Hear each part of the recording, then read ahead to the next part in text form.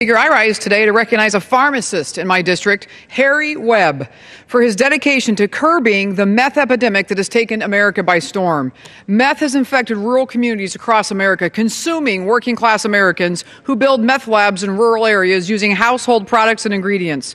Make no mistake, Indiana's meth problem is appalling. In 2013, the Hoosier state had more meth incidents than any other state in the U.S. But Harry and his team, the Citizens Action Committee, are working to curb meth production by partnering with local and state officials and pharmacies to reduce pseudoephedrine sales, the active ingredient in producing meth.